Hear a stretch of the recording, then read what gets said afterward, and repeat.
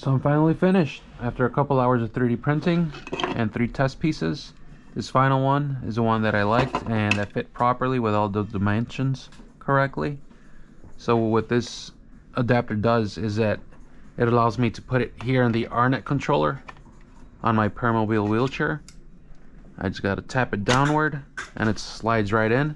It's a pressure fit which is still kind of difficult for me to be able to take it back off. If I had finger function, I'll be able to take it off a lot easier. But as of right now, in order to take it off, I need to tap it from the bottom until it loosens up and I'm able to grab it and pull it out. So I'm gonna go ahead and mount my gimbal.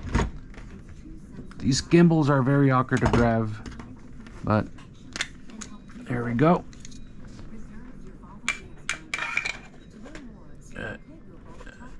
And there you go.